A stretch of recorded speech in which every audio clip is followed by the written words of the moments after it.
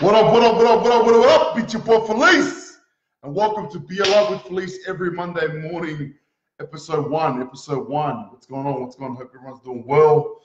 Hope everyone's doing well. Now, listen up, man. If this is your first time on my page, welcome. Uh, if you've been following for a while, you would know this. You would know this about three years ago. About three years ago, uh, me and my brother Steph, we used to run this. We used to go live every single Monday morning at 6:30 a.m and we used to just kind of just go raw, share motivation, share our story, share our journey, and you know what happened then. My brother moved to the states, and we just kind of uh, he was moving, and you know just life got in the way. Um, maybe it was family, maybe it was having the, the kids, and basically, you know, uh, we stopped we stopped the show, and so you know for me, uh, and then I think a couple of months ago I tried to do it again. Um, and then I just kind of stopped again. But you know, no excuses, taking full ownership. But what what I want to share with you guys is just like the reason why I wanted to do this because it's it's always been something that I wanted to do. Yeah, like I, I just love I love the challenge, and I still remember when we first started doing this, going live every single Monday morning. Um, and I know we've only got one live right now, but if you're live with me, comment 120 below, just so I know who's watching. And if you're watching after show, if you're watching this later on, comment 100, 100%. Yeah. But the reason I wanted to do this is because it's a challenge. It's a challenge for me to be able to, you know, make sure that I wake up before 6 a.m., to make sure that I'm on point, to make sure that I'm going and I'm peaking and then I'm doing things, but more importantly, give you guys value. Yeah. So for you guys know, I've been on this journey for a minute for a couple of years right now. Yeah. I used to weigh over 200 kilos. I've been able to lose 70 kilos naturally, naturally, right? No, no quick fix, no surgery, nothing like that. Purely mindset, purely applying certain principles, but what I call the real man's way. Okay. Um, but what I want to share with you, what I want to share with you this Monday morning to get you guys going, what, what I want to share with you guys this Monday morning is this, guys. Like, I regret stopping. I regret that I stopped doing this show. I regret that I that I didn't continue going live every single Monday morning three years ago. Like we started, I started doing this three years ago, and I stopped. I stopped, and I'm and and every day since then, I've been living in regret. I've been regretting not doing it. I've been regretting not continuing. I've been regretting not staying consistent. And so I feel bad. I feel bad because I'm the, the this is how I think. This is how I've become to think I sound freshy. This is the this is how I've learned to think to be able to get more out of me, right? Um, I asked myself this question this morning, and I was writing some notes down on my book or a little pad here, and I, and I said to myself, like, what is the consequence of me not taking action? Because I because I stopped doing these live shows three months ago, or one year ago, or two years ago. What is the consequences of me not continuing? What are the consequences of me giving up? What are the consequences of me stopping? And I started to number it off. First of all, living in regret, constantly living in regret. I'm that kind of guy where like I, am always I'm always asking myself. I'm always having this accountability with myself, and I'm saying, Felise, what like what should have you done today? What what do you need to do today? And let's be real, man. I'm always comparing myself to others. So when I'm looking at other people doing what they're doing, I'm like, man, he done he done it at the same time as me three years ago. But look at him, he's still doing it. Look at her, she's still doing it. And then I say to myself, Felise, why did you stop? Why did you give up? Why didn't you keep pushing forward? And let me be real with you, I start to feel shitty about myself. I'm like, Felise, why did you stop doing it?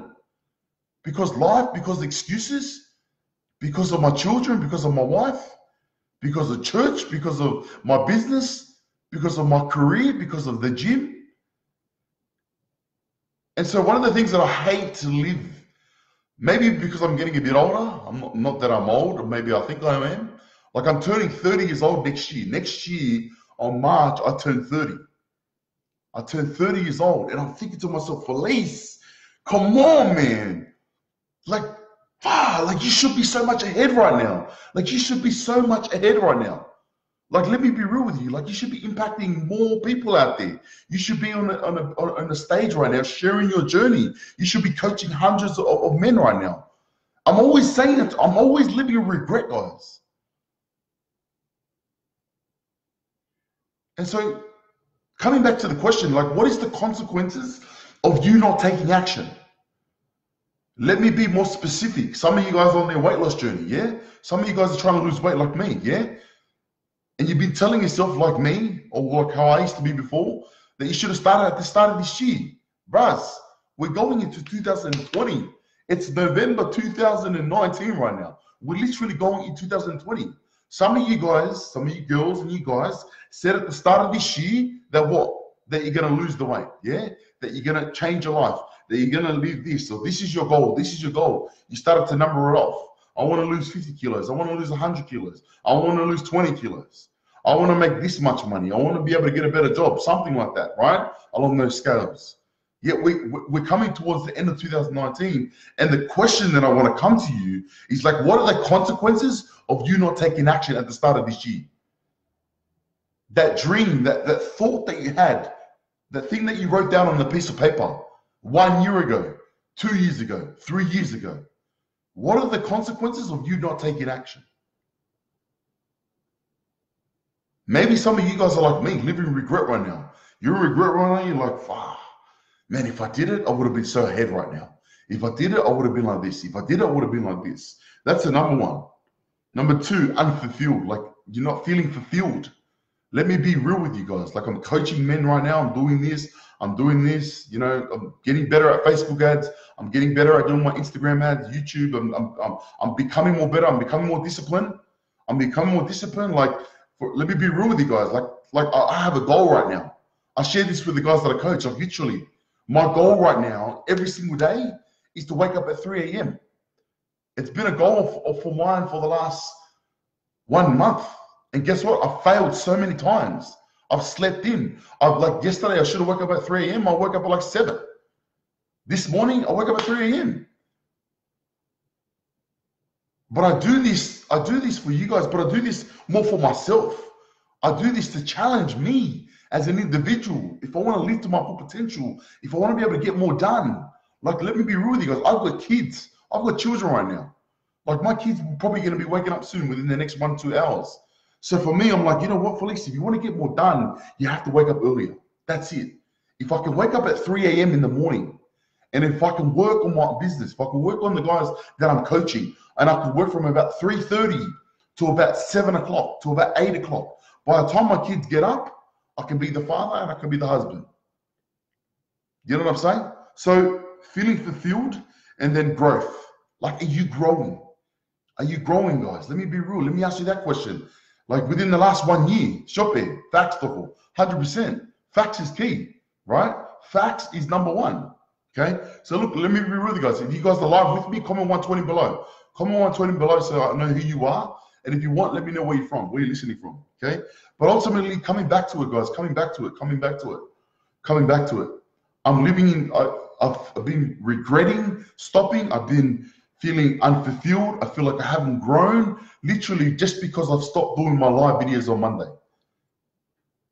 And so I made it a challenge. I made it a commitment. I've gone back to the drawing board. I've asked myself this question. I told my wife, right? And I told her, like, babe, I need to do this. It's not really, it's not really for, for it's not really just to share my journey. It's not just really to um to inspire you guys, but it's to, to challenge myself. And along that journey of challenging me uh, and me growing and me becoming more disciplined, I hope to inspire you also. Yeah. So, like, th- those are the thoughts that are coming to my mind. Those are the thoughts that I wanted to share with you guys uh, right now. Uh, Lewis, you coming from Mangere, New Zealand. Much love, bro. Much love, man. Appreciate it. Appreciate you listening, brother. I think it's about eight o'clock here in uh, eight o'clock over there in New Zealand. So you guys are two hours ahead of us. But but coming back to what I was sharing with you guys, coming back to what I was sharing with you guys, like what is the consequence of you not taking action? Literally, because you didn't go all in, because you stopped. What is the excuse? What is the story? What is the belief system? What is what's holding you back? What has been holding you back? Now, many, many years coming back to my journey, I'm, I'm always getting, I'm, I always feel like my story always comes back to my journey. my journey of being overweight, my journey of being obese. Like one of the biggest reasons why I didn't lose the weight, that I stopped in the journey, is because I didn't see the result. True? Like a lot of us, we, we, you know, if you want to lose the weight, you want to see the result instantly. And what I've come to learn is that, you know, the result will look after itself if you just do what you need to do now. Let, let me say it again. Let me say it again. In my journey in losing weight, losing up to 70 kilos within a period of two years, two to three years, one of the biggest lessons that I've learned, right, is to be able to divorce the result. Very, very cliche saying that people say, but it's so true. To literally put the result at the end of it, right? And just be like, what do I need to do today to get me a lot more closer to where I want to be? What do I need to do today to get me a lot more closer to where I want to be? So I'm saying this to myself. All right, how many weeks in a year, Felise? How many weeks in a year? Like 52 weeks. So I said to myself, well, Felise, if you go live every single Monday morning and share with everyone your journey, that's 52 weeks. That's 52 videos that you're posting out. That's 52 videos of value that you're sharing with someone. And ultimately, out of those 52 videos, there might be one one guy there might be one man out there that's resonated with my message, that's looking at my journey, is like, well, Felise did it. Felise lost the weight. Felise literally lost 70 kilos naturally. He's done it. What did he do? Wow, he he's just like me. He's struggling just like me. He likes eating this. He, he he struggles with binge eating. He struggles with emotional eating. He didn't have discipline. But look at him now. He's doing it. What would it take for me to be able to be like that? Imagine if I applied what Felise applied to his journey, where would I be in my life? How much more different would my life look like?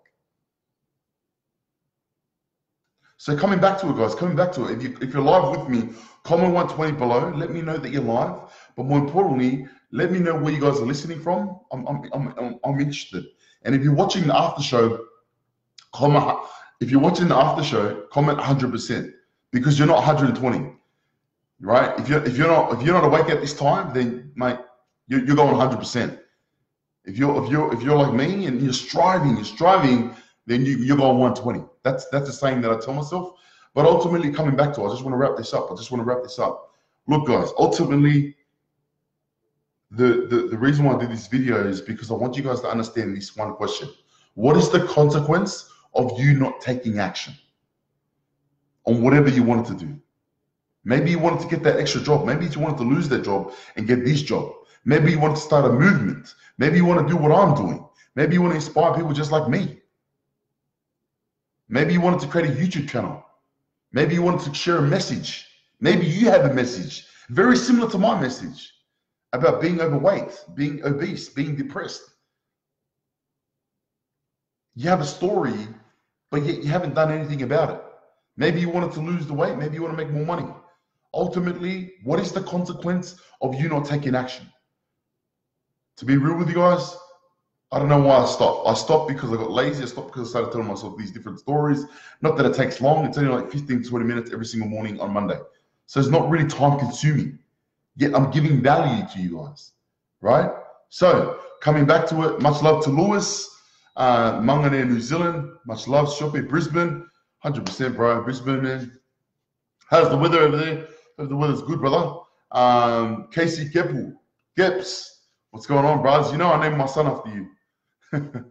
but yeah, much love to you all. Hope you guys have a fantastic, fantastic uh, morning. Hope you guys have a fantastic week, right? And ultimately, if you have any questions, comment below, and uh, I'll get back to you as soon as I can. Appreciate it. Keep it 120, baby.